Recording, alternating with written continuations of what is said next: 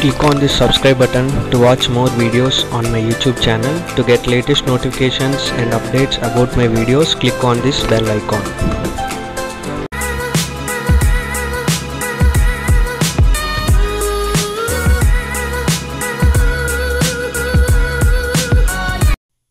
Hi friends, in this video I'm going to explain about the group manager and the group uh, boundary box. I'll explain uh, this tutorial in my previous tutorial already explained how to create these groups and ungroup and group edit. Already explained. Again I'm grouping the object.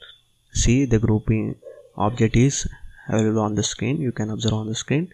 And this is the grouped object. And go on to the group edit. I want to explain the group manager.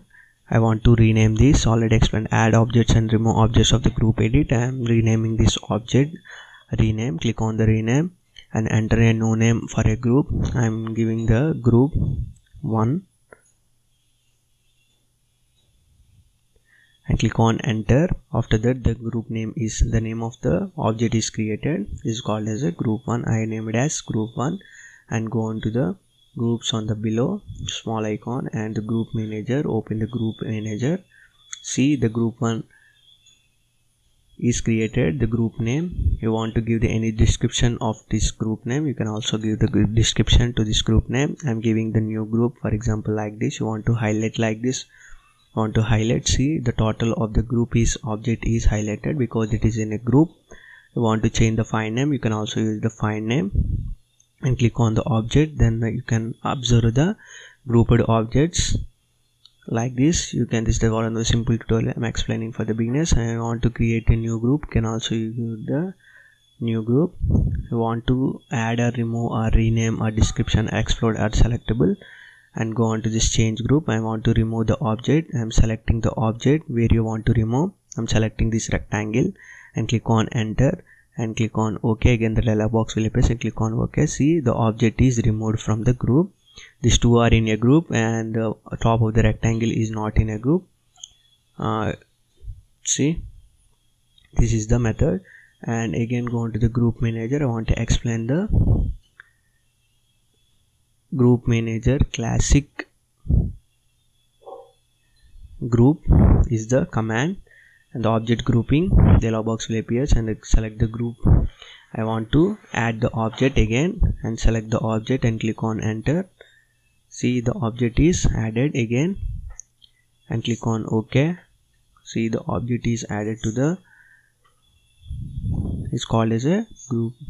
The group is created. You want to remove or add object by using the group manager. You can remove and add objects. You can also use the group edit also. You can add or remove the objects and this the group name.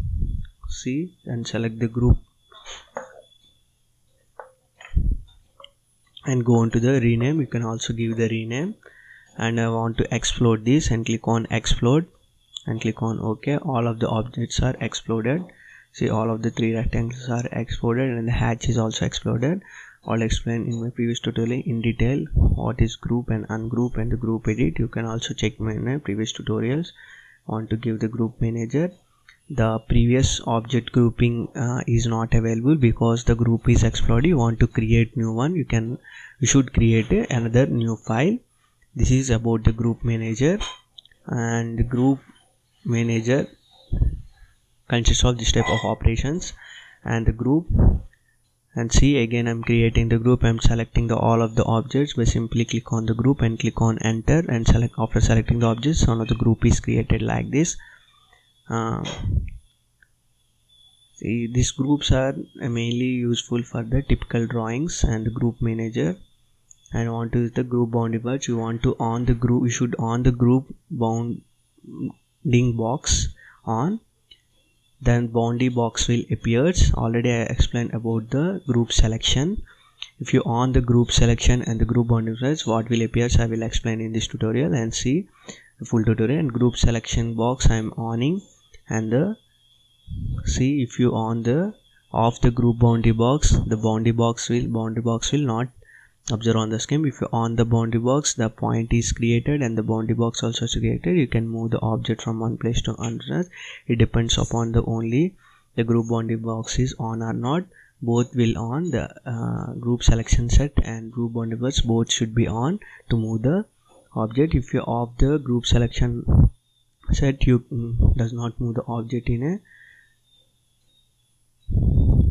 proper position. See if you should on the group selection set and the group boundary box then the boundary is created bounding is created and with the group is also selection of all of the group group. You select simply you can move the object